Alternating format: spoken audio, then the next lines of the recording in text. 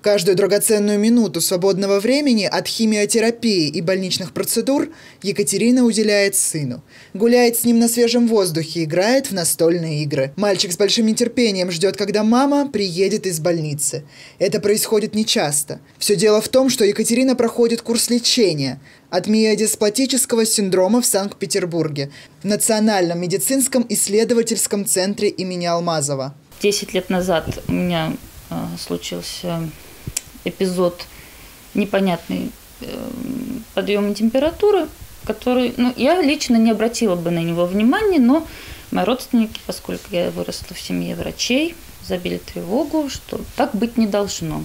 Соответственно, я прошла обследование и выявили э, тромбоцитопению неясного генеза, которая, в принципе, особого внимания не требовала, потому что со временем я к ней адаптировалась, и она мне не мешала жить. В один прекрасный момент в течение длительного времени у меня э, была головная боль, которая ничем никак не снималась.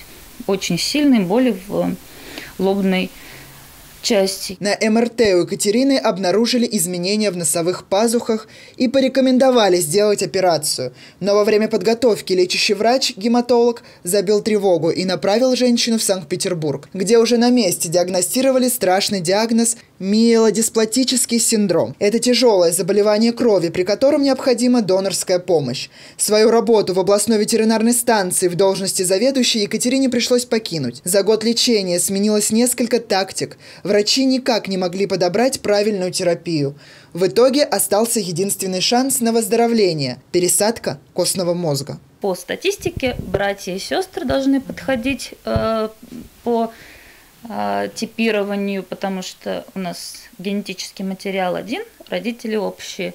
Брат мне не подошел совсем, а, подошла мне мама. Но поскольку моей маме уже 64 года, было проведено обследование, вот, как бы мы уже дошли до стадии, когда я уехала в Санкт-Петербург, ждала маму, Мама тоже приехала в Санкт-Петербург, мы провели обследование. В принципе, клинически она здоровый человек.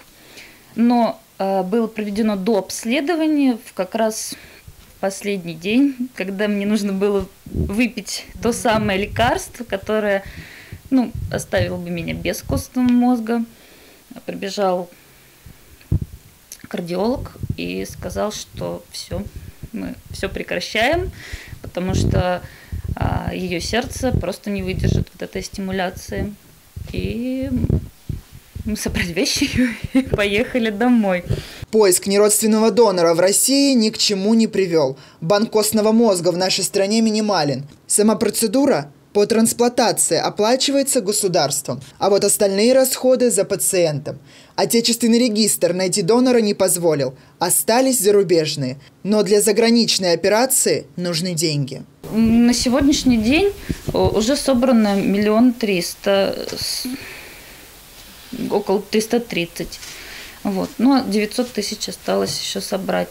Вот, конечно, я хочу сказать большое спасибо своим родственникам, друзьям, друзьям друзей, потому что очень все активно участвуют. Эм, сегодня даже вот наш друг семьи, он увидел бегущую строку, приехал, конечно, был в шоке. Я себя временами очень неважно чувствую, но э, у меня организм, ну, видимо, как э, с тромбоцитопенией адаптировался, так и к низкому гемоглобину он потихонечку тоже адаптируется. Деньги можно перевести на карту Сбербанк. Номер счета на ваших экранах. Екатерина надеется, что совместными усилиями ей удастся собрать необходимую сумму, и в скором времени она сможет вернуться к привычной работе и больше никогда не расставаться со своим ребенком. Герман Гущин, Станислав Кудряшов, телекомпания «Город».